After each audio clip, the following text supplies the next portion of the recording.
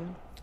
Realmente yo estoy libre por todo el esfuerzo que hizo mi mamá, por no desistir y por que es muy valiente, es más valiente que yo.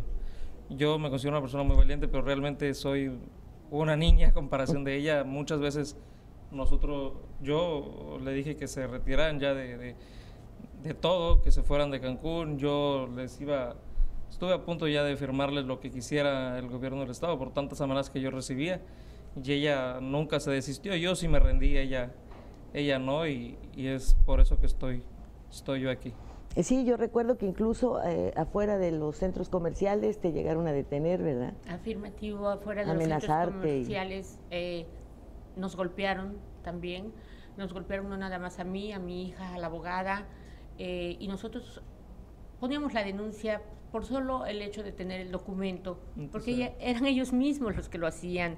Incluso hubo un momento en que nos estaban esperando afuera del reclusorio armados, hombres armados, y los que les estaban dando indicaciones eran judiciales. Detuvieron a dos ah, porque... Eh, ya después de tantos años teníamos gente que nos apreciaba y vieron que cerca de la camioneta en la que nosotros íbamos había gente armada. Nos dijeron no salgan e inmediatamente amigos de afuera empezaron a moverse y detuvieron a dos. en menos de 12 horas estaban totalmente libres, cuando les encontraron que en su, en su teléfono estaban las fotos de nosotros, donde le mandaban a mi hijo a decir, mira cómo vienen, sabemos cómo vienen vestidas, ya tenemos eh, la camioneta, las vamos a matar, las vamos a violar, las vamos... Era algo terrible.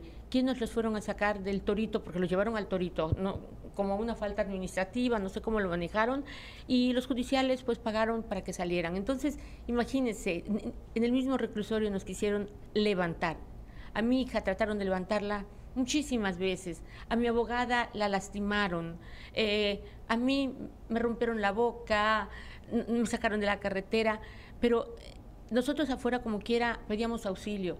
Pero mi hijo, pues realmente llegaban con, con las sogas los judiciales y le decían, ahórcate si quieres que tu familia viva, mátate si quieres que tu familia viva. Entonces, era, yo siento que si para nosotros fue tan difícil para él ahí encerrado y, estar en manos de ellos que lo sacaban a la hora que querían, que lo torturaban a la hora que querían y que todas las autoridades se hacían como que aquí no pasa nada, fue muy, muy difícil, ha sido muy difícil.